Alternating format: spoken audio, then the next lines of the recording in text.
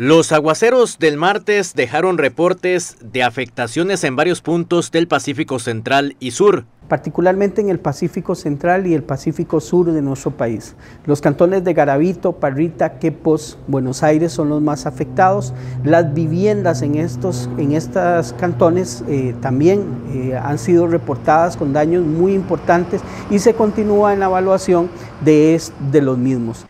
Desde la comisión piden precaución para esta noche por el posible aumento en las lluvias en esta parte del territorio nacional.